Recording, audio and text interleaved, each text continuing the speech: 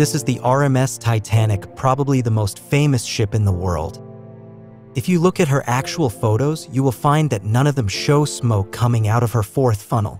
In most cases, it is just a light haze, more like steam.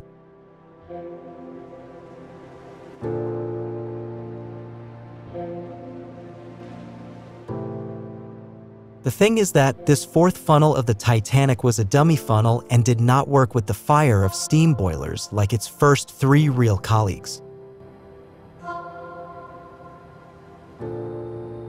At that time, four funnels on a sea liner signified the solidity and power of the ship. To prevent the Titanic from looking less impressive than her competitors on ocean lines, she also was built with a four funnel.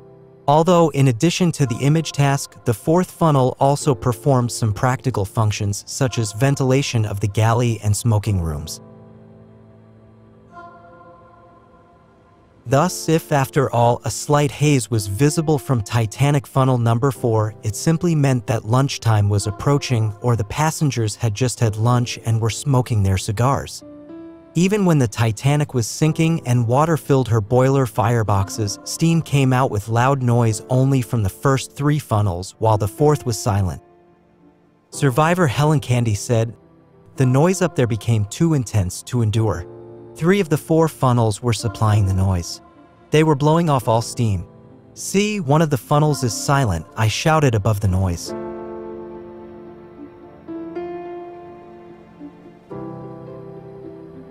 But probably many artists did not know this fact and painted the Titanic with a smoking fourth funnel along with others.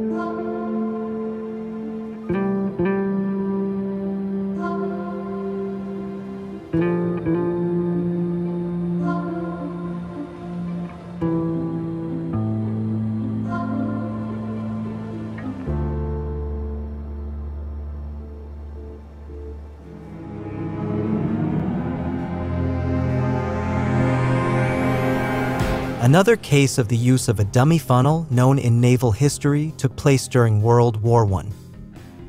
The German cruiser raider Emden installed a fourth false funnel, but not for importance, but for camouflage.